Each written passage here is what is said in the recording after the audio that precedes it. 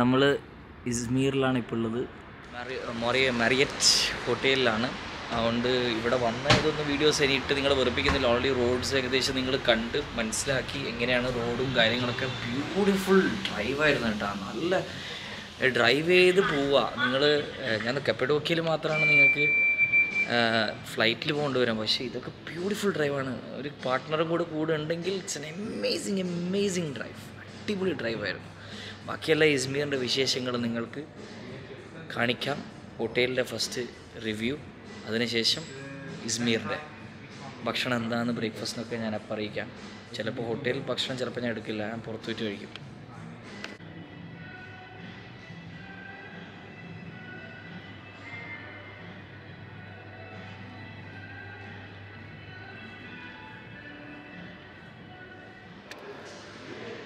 ഇന്നത്തെ Marriott Pomeroy. Uh, you said 30 minutes? 30? Dun, dun, dun, 1704, 1701 to 1707 east side lana. Ha ha ha ha ha ha. 1705 and 1704. Please touch.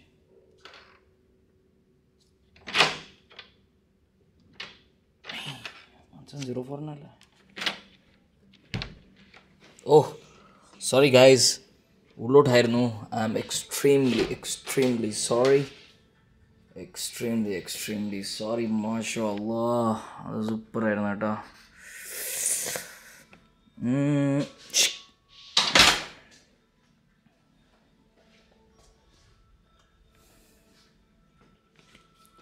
ഇതിവിടെ ഇരിക്കട്ടെ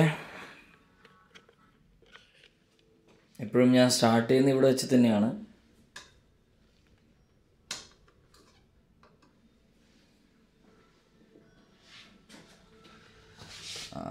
lights yes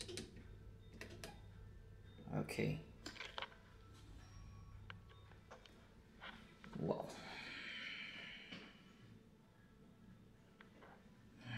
as beautiful as it is Nice nice nice nice. Oh it's a superb room.